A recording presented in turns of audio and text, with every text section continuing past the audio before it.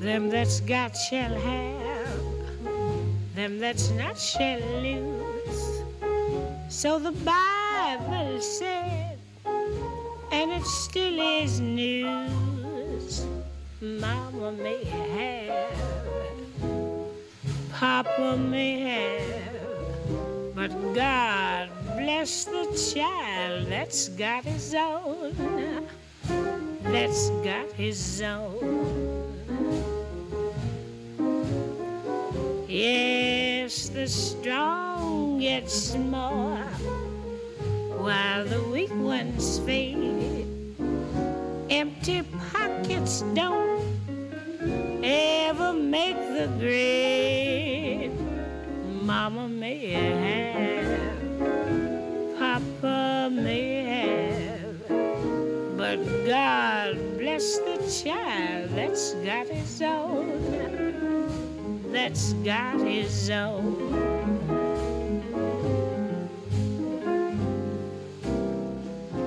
This summer program right now is pretty much to go out at, in the morning because the clouds are so beautiful midday.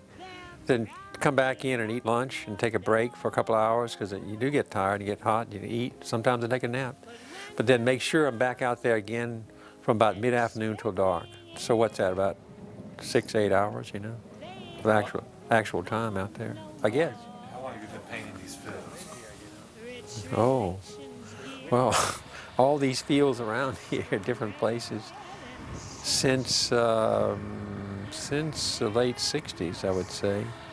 I started coming out here to paint these fields when I was still living in Lafayette before I got married in the late, the mid to late '60s.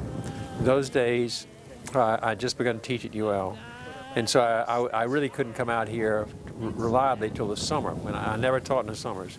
So I always look forward to summer as painting time, primary paint time, little, no, nothing else if you could help it. And that coincided with the rice season. So they're planting rice in March and April by the time school is winding down. By May, when I was out of school, the rice was up and green, and, and I just tried to phase right into it. And I used to drive out from Lafayette out here. But now that we live out here, that's what really brought us out here. I, by the time I got married, Mary and I had an opportunity to live out here. We lived in an old house for 18 years that we rented. And we rented a series of old houses, series of houses after that one. And we finally built one of our own now. So being living out here in the middle of this landscape and being able to conveniently get to and fro from the sites, back to the studio, back to the house, made all the difference. You know? Mama may have, Papa may have, but God bless the child that's got his own, that's got his own.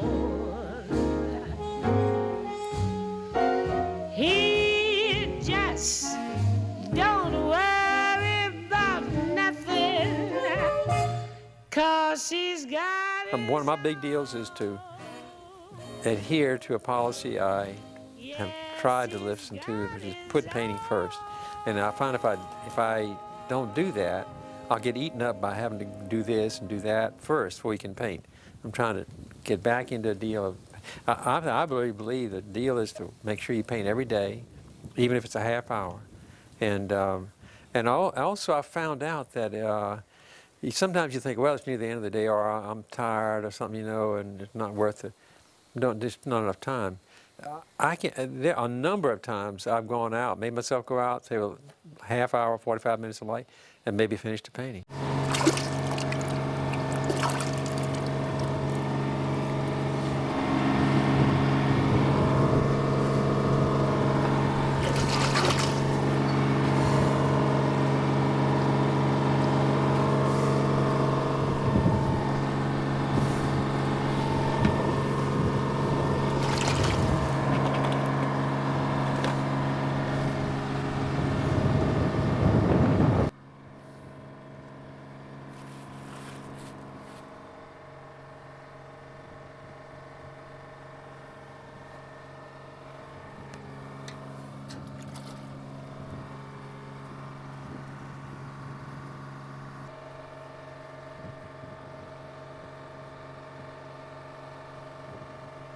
The painting is finished when the artist had realized his intentions.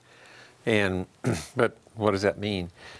All I can tell you is that there, there comes a moment in the painting, because of the way I paint, I guess, where things sort of just all fall into place. They're all kind of like, it's like revving up an engine of some kind. A bunch of wheels within wheels start turning and, and things are, are revved up, and you know it. And, and usually you're right. Now, you can be wrong. That's why I might have finished that painting this morning, but I'm not sure. I got to go back and look at that a lot more.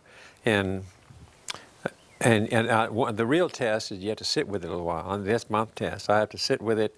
And I used to have in the other, in an old house we lived in across the street. I had a place where I could sit down and over a couple of weeks I could see it and test it, make sure it really was working. If it if it nags you a little bit, there's something not quite. Then there's something wrong with it. You may not know what it is, but there's something. If it nags you, then it's not working. Don't you think art is a strange thing? Don't you think it's really a strange activity for people? I mean, it's it's really not practical for the most part. It's not anything absolutely not necessary to your survival, is it? I mean, you could brutally live without art, couldn't you? I mean, you'd be really, but isn't it interesting that people have done it for so long, 40,000 years, farthest back I know about, and they've done it you know, sometimes at great cost themselves. And why would they do that? Why would they pursue that stuff? Do making that impractical thing why would they do that? It's, it's not to me. It's not what is art, but why is art? Why do they do it? I don't really know. I, I, I think I personally think it's proof of we're not just animals. You know, we got some kind of spiritual thing that needs to contemplate our existence. We need. That's what art's for, I believe. It's like helps like this beer helps us get through the day. You know, helps us get through our existence. We, and I think artists are basically uh, outsiders. They're kind of like loners. I hate to say it, but I mean, the fact is we're we're a little bit on the outside. We're not quite.